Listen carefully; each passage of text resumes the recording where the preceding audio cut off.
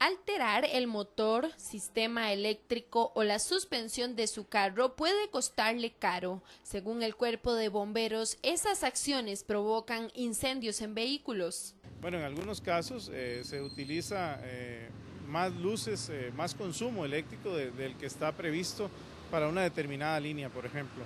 Entonces se recargan estas líneas y terminan en un cortocircuito que puede terminar en un incendio en el vehículo, por ejemplo.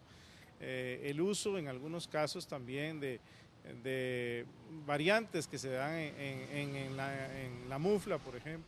Este lunes se registró la colisión de dos vehículos pesados sobre la ruta 32. Al parecer, uno de ellos se quedó sin frenos y tras el impacto prendió fuego.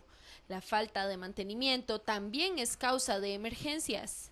El fabricante del vehículo eh, entrega un manual para el conductor en donde viene especificada una serie de rutinas que tienen que ser eh, atendidas. Si esto no se hace oportunamente, entonces eh, en muchos casos que hemos visto también eh, se dan estos incendios. Por ejemplo, hemos visto en donde se traban los las, las, llantas del vehículo y el, conductor continúa su marcha en un vehículo pesado, por ejemplo, y eso pues provoca un incendio de las mismas y de ahí se, se traslada a las mercancías o a parte del vehículo. Este año, Bomberos contabiliza 266 incendios en vehículos de todo tipo, principalmente en livianos, pesados y autobuses.